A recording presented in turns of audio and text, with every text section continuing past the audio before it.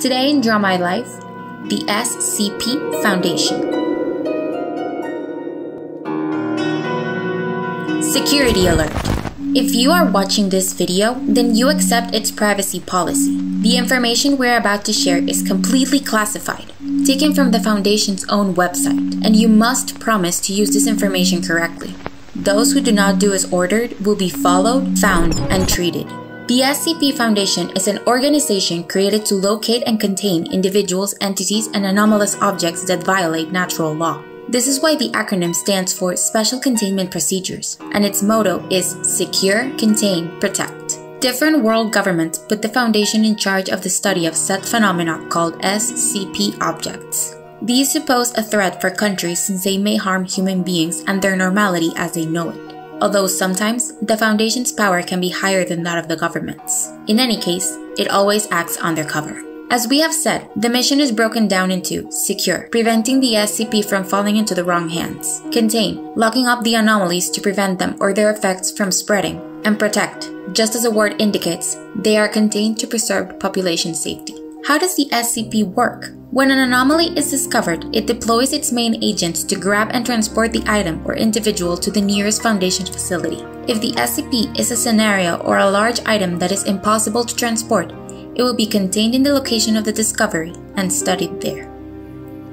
The Foundation scientists are the ones in charge of observation and experimentation. As in every job, there is a certain hierarchy. There are test subjects, aka Class D personnel, such as those sentenced to death or life imprisonment. They are recruited by the Foundation and used to interact with dangerous SCPs. The Foundation's SCP database is very extensive. Each item is assigned an ID number with its corresponding report, description, and relevant data, and related files. Also, instructions about its containment procedure can be included. All of them are subject to very exhaustive observation and monitoring to ensure that there are no unforeseen events. Therefore, the security strategy is very complete and is divided into different security levels, meaning each SCP, based on its complexity, is assigned a class. The primary classes correspond to the most common objects. At the same time, this category is broken down into other levels Safe, Euclid, Keter, Thaumiel, and Neutralized. The safe class SCPs are those which can be contained easily. This happens with objects that are known to the Foundation, for this reason, extraordinary resources are not necessary. Still, they are considered a threat. The Euclid class are harder to contain since they are more incomprehensible and unpredictable. Many of the objects that are autonomous, conscious, and intelligent belong to this category. The Keter follow more exhaustive procedures due to their complexity. However, they don't necessarily have to be dangerous. Objects from Thaumiel class work to contain other SCPs. Therefore, these anomalies are found at important levels of the Foundation, and not all of its members are aware of them. Lastly, the neutralized are those SCPs which have been destroyed or unused. There is also another category for non-standard object classes. This classification complements the one we just talked about. It's broken down into explained, esoteric or narrative classes, and decommissioned. Explained SCPs are those anomalies that can be understood with our science. Esoteric classes are created for the SCPs that do not possess a rational explanation and need a narrative to be comprehended. Lastly, the decommissioned. This category is used by the senior staff. Here we find both those that are erased from the map and those who are put on a kind of wall of shame to remember what must not be done. Nevertheless, this category is rarely used nowadays. To determine to which object class an anomaly belongs to, the locked box test must be performed. It consists of locking up an SCP in a box and not disturb it. If nothing wrong happens, it's probably from the safe category. If, when locked up, you don't know what will happen, then it probably is an Euclid. If it escapes, it's a Keter. If the SCP is the box, then you are in the presence of a Thaumiel. Although the truth is that this classification is not fixed, but rather, the same rare body can possess features from two classes. Up next, we will briefly talk to you about some of the most well-known SCPs inside the Foundation. SCP-049 is a skeleton dressed as a medieval plague doctor, also known as Pestilence. Its greatest desire is to create a lifeless humanoid. SCP-173 is the most well-known, and it is a humanoid steel and concrete statue. He remains unaffected by direct observation, but if you break the line of sight between your eyes and its own, it will attack you and break your neck. It is under investigation how to win an encounter with this anomaly. We know that SCP-682 resembles the form of a reptile. It has a very unfriendly character, and it's said to be virtually impossible to destroy as it has a great capacity to adapt to almost any attack. It's a tough bone to chew. SCP-055 is a very special object, since anyone who it examines causes great forgetfulness of their own characteristics. Thus, this object is discovered and rediscovered on numerous occasions without knowing how or when, and it is indescribable. Research is currently underway on how to prevent this memory loss. Another anomaly we will present to you is a scenario. It's SCP-087. This is a staircase that descends to infinity. It is inhabited by SCP-0871, which is a being formed by a face with no mouth, pupils, or nostrils. No matter how far you go down, you're always going to hear the cries of a child at a distance of 200 meters. Not all SCPs are terrifying. For example, SCP-294, which is a coffee machine that will give you any kind of liquid substance that exists in the world. In its file, there is a note indicating that it has managed to generate abstract concepts such as music or happiness.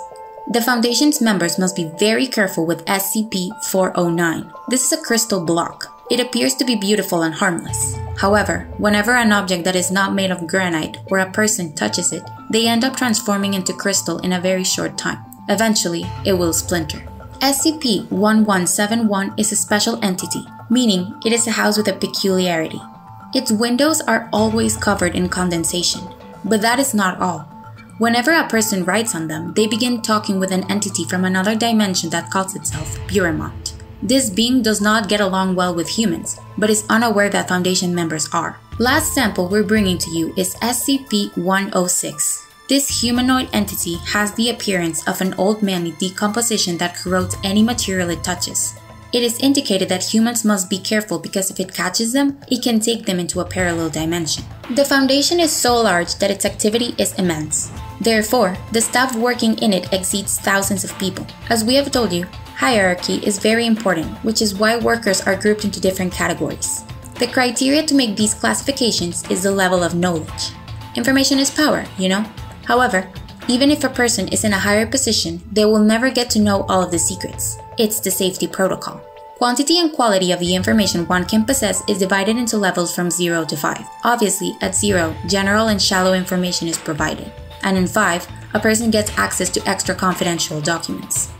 So, depending on the level of information a person belongs to, the staff is divided in classes, from A to E, Letters indicate the level of proximity a person can have to the SCPs. People from Class A are not allowed to associate with the anomalies, since they are essential to the Foundation's strategy and must be kept in a safe place. Meanwhile, as we told you earlier, D-Class people are those who serve as a test. Finally, Class E are workers who have been exposed to an SCP and have been injured. They will be subjected to many tests to thoroughly investigate the effects of the attacker. Some recover and can go back to work, but others never make it. There are also different jobs. Containment specialist, in charge of containing anomalies. Researcher are the scientific branch and go from physicists and chemists to biologists. Security officers maintain order in Foundation buildings. Tactical response officer highly trained teams that escort the containment teams.